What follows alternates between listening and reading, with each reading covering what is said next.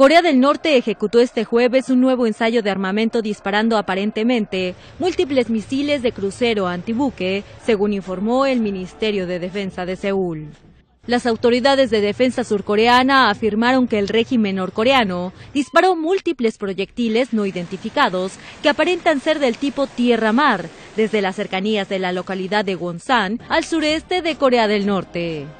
Según un portavoz del Ministerio de Defensa de Corea del Sur, se trataría de misiles de crucero de corto alcance y no de misiles balísticos, como se dijo en un principio, y que recorrieron unos 200 kilómetros antes de caer en aguas del mar de Japón. El presidente surcoreano convocó a una reunión del Consejo de Seguridad Nacional en respuesta al ensayo de este jueves para debatir las medidas contra este tipo de pruebas del país vecino.